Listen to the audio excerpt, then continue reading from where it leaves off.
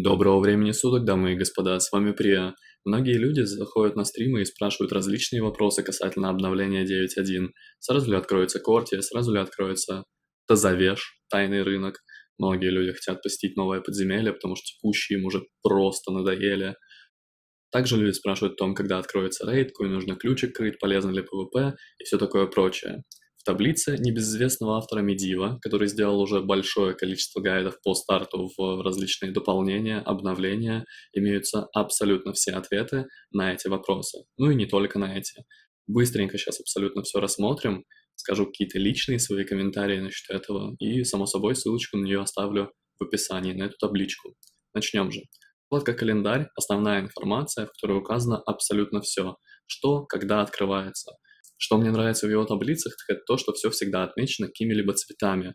Есть цвет красный, желтый, зеленый. Зеленое – низкоприоритетные какие-либо интересные вещицы. Но они все равно интересны, их нужно делать чуть-чуть хотя бы. А желтые какие-либо цвета – это уже, скажем так, средний приоритет. А то, что красным указано цветом, это самый высокоуровневый контент, например, Мифик Прогресс, Святилище Господства, как мы видим на вкладке «Календарь». Также красным цветом отмечена самая-самая важная информация, которую нужно сделать, которую нужно реализовать. Далее мы также еще эти цвета, само собой, увидим. Также не стоит забывать о краткой информации. Ее реально стоит прочитать и понять вообще, для чего вам этот гайд, как им пользоваться, что из себя представляет документ. Ну, в текущий момент мы все это видим и все это можем прочитать. Вот. Само собой, есть и архивные версии всяких старых каких-либо гайдиков. Вкладка «Подготовка» имеет в себе, как я уже говорил ранее, различные цвета, цветовые обозначения, что нам нужно сделать, как нам нужно подготовиться и все такое прочее. Ну а о чем еще будет вкладка «Подготовка»? Само собой, о подготовке. Также нам нужно аддон установить он реально потребуется. Кортия. Что такое кортия? Расширение утробы и добавление туда новых квестов, нападений и т.д. При выполнении стартовых сюжетных квестов вы получите возможность вызывать любых маунтов в утробе и корте. Также избавитесь от эффектов ока тюремщика, которое надоедало нам в утробе. Если рассмотреть карту, то мы уже увидим кирийский значок. Это новое кирийское нападение в утробе, аналогично нападениям Зота в 8.3. От себя могу сказать то, что эти нападения выглядят довольно-таки классно и приятно. Ну, наверное, потому что их мы просто вновь увидели, и первое нападение будет реально веселым, а далее будет надоедать. Также карта Кортии с дейликами. Небольшая локация в целом, но по ней придется побегать. Именно побегать, да. Вкладка «Репутация», две новые фракции, Легион Смерти, Кодекс Архивариуса. А, само собой, нужно качать до максимума, потому что на максимальной репутации будут максимальные награды. Таким образом, например, Легион Смерти будет давать нам дополнительный сокет за тысячу углей душ. А если мы рассмотрим кодекс Архивариуса, другая фракция, то там будет дополнительный сокет также и апгрейд проводничков. Вот так вот. А, деформатор сплавов заполняет гнездо в предмет, и осколок силы смерти. Находит улучшение для одного из проводников с самым низким уровнем среди тех, что у вас есть. Максимальный уровень предмета 252, то есть максимальный проводничок это 252 item level. Грустно, что такая же система остается касательно проводников, но что поделать, что поделать. Система, конечно, печальная в некоторой степени. Гнезда господства новая механика, которая будет введена в обновлении 9.1. И тут давайте я чуточку подробнее расскажу. У нас будут вещицы, на которых будут эти новые гнезда. А обычные вставить туда будет нельзя. То есть шапка у нас будет только с гнездом господства, с рейда падать. Рейдовая шапка, она будет только с гнездом господства. И она будет открывать нам доступ для сбора нечестивого бонуса. Будут разные три бонуса. Если голова, и мы вставим три сокета нечестивых, то мы получим сет-бонус нечестивость. А если, например, мы без плеча будем вставлять ледяные сокеты, то мы не получим ледяной сет-бонус, как я правильно понимаю. С целью того, чтобы разблокировать ледяной сет-бонус, нам нужно надеть плечо. С целью того, чтобы разблокировать кровяной сет-бонус, нам нужен нагрудник, а также нам нужно вставить три гнезда. Но из-за вебки не видно, вы скажете то, что вот, всего лишь три вещи, и что, нам все их дропать нужно? Нет, имеются различные альтернативы. Таким образом, например, тканники могут надеть дополнительно поясок с гнездом господства, а, тканники могут надеть еще и запястье с гнездом господства.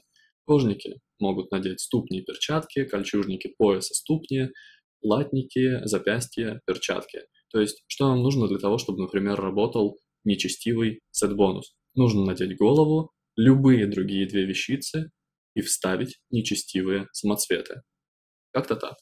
Также все написано насчет апгрейдов, насчет извлечения этих самоцветов. Предмет для извлечения покупается за 2500 пепла душ. Мы будем не часто такие вещи лутать, вставлять гнезда нужно с умом. Пепел будет фармиться в большом количестве, так что пепел уже не такой какой-то уникальный ресурс. Ну и, само собой, 11 строчек насчет всех этих гнезд. Следующая вкладка «Известность». Мы уже знаем, что такое известность, мы качали первых 40 левелов, ну а теперь нам нужно качать вплоть до 80-го, то есть на 80-м мы там будем еще какие-то апгрейдики получать интересные, на 44-м будут вообще полеты доступны, прекраснейшие. Также сможем апгрейдить сокеты новые. Максимальный уровень проводников 9.1, 252. Если у вас не все проводники 2.2.6, их можно нафармить в корте из рарников и дейликов. Раньше мы фармили их за стигию, ну а сейчас людям нужно всего лишь убить рарников и поделать дейлики. Окей, окей, хорошо. Ну, у меня-то уже все 226, поэтому я, не напрягаясь, смогу бегать по корте и по другому контенту. Торгаст. Имеется новая механика. Мы будем прокачивать талантики. Знаете, талантики как были в времена видений, то есть то, что мы видели в 8.3. Адамантовые хранилища нужно прокачать, и мы это увидим в третьем пункте чуть выше. Совершив безупречный поход в Торгаст, вы и участники вашей группы можете подняться в адамантовые хранилища доступно, начиная с девятого уровня торгаста имеется в виду, девятый этаж. А, что такое адамантовые хранилища? Вопрос хороший. То есть просто ли это сундуки, сундуки с ловушками? Посмотрим. Как можно быстрее надо получить талант на адамантовые хранилища, так как за них можно получить апгрейд проводника или доп-сокет.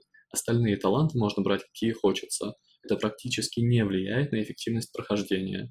А, согласен, потому что торгаст он так легкий, если вы, конечно, идете не одетым персонажем, ну, тогда будет тяжело. Также мы видим, сколько углей получаем за какой-либо этаж. За девятый 60, за десятый еще 50, за 11 еще 40, за 12 еще 30. Таким образом, если мы, например, пойдем сразу в 12, то мы получим 180 углей. Но стоит помнить об ограничении. На первой неделе будет открыт только 9 уровень, на второй 10, на третьей неделе 11, а 12 непонятно когда. Может на третьей неделе, может попозже. Посмотрим. Если вам нужен пепел душ, ее можно нафармить повторными зачистками уровней Таргаста. Ну, немножечко он все-таки нужен, будем честны. Легендарки. Все о легендарках, э, сколько нужно углей, сколько углей у нас будет на момент окончания первой недели. То, что я выделяю, кстати, вообще видно? Да, видно, замечательно. Э, сколько у нас будет углей под конец второй недели, третьей недели, четвертой недели. 1650 углей нужно на 262-ю легендарочку. Легендарка максимального ранга.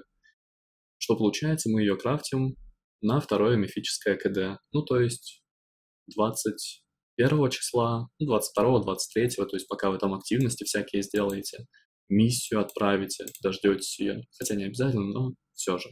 Маловато они дают. Все-таки хотелось бы не 20, но хотя бы 100 получать углей, чтобы важность соратников была как-то повыше. Но это уже такое личное, скажем так. Профессии, все о профессиях. Тут больше информация от тех, кто будет крафтить эти легендарки сам, а не покупать заготовки. Прочитайте, быть может, это поможет вам в голдфарме. Также желтым текстом выделена информация о 230-х вещицах спрашивали у меня на стриме однажды то, что вот, я на ПТРе заметил рецепт, 230 можно шмот крафтить, можно что, типа, одеться full таким образом? Нет. Носить можно только одну такую шмотку. Ну, это прикольно, это приятно, почему бы и нет. То есть заткнуть какой-нибудь 220 слот 230 это интересно, это выглядит реально прикольно. Далее PvP, как мы знаем, оно немножечко изменилось, и оно теперь как-то больше похоже на дренорское в плане item level а своего. Там тоже была такая механика, но она была вообще дичайшая. То есть для PvE вещица была 620, а для PvP 675. Разница итем левелов была большая. Тут небольшая, всего лишь 13. Я считаю то, что апнуть 1800 или 200 тот момент, когда откроется сезон, то есть это с 7 по 13 число, будет нормальным таким решением, потому что ну, с десятых ключей там будет максимальный только шмот сыпаться 229, хотя нам все равно нужно крыть высокие ключики ради того, чтобы наполнить хранилище. А так, то есть мы апаем рейтинг и в будущем закупаемся вещицами. Все замечательно. Система PvP в 9.1 остается точно такой же, как и 9.0. Капочка завоевания в неделю не меняется. 175 а по-моему он 650. Могу ошибаться, ну ладно. Ежедневный туду, туду-лист. Собственно, мы можем тут абсолютно все глянуть, что нам нужно делать каждый день и каждую неделю. Изучаем, смотрим, делаем. Также эту вкладку полезно открывать в тот момент, когда, например, вы уже играете в новое обновление, смотрите, например, ага, ключик не закрыт, пойду крыть. Ну и такие вот всякие вещицы просто чекаем, смотрим. Далее вкладка Mythic Plus и сплиты. Таблица с лутом. Для максимального левела шмотки с недельного сундука теперь нужно закрывать 15 ключи, а не 14 как было в 9.1. Да, абсолютно верно. Если мы глянем левел недельного сундука, последняя строчка, последний столбик, то что получается? За пятнашки мы будем с недельного хранилища лутать, там левел 252, а за 14 249 три item level а, разница есть, все-таки как-никак. Ну и таблица с рейда. Что по луту, что такое вот все прочее. Как-то так. Ну и все. Всю табличку мы посмотрели. Ссылочку ее оставлю в описании. Не ленитесь, смотрите. Чем больше вы ее изучите, тем меньше у вас будет каких-либо вопросов. Всех вам благ, счастья, здоровья, берегите ноги, мойте руки. Не забывайте о ссылочках в описании и о стримах. До скорого!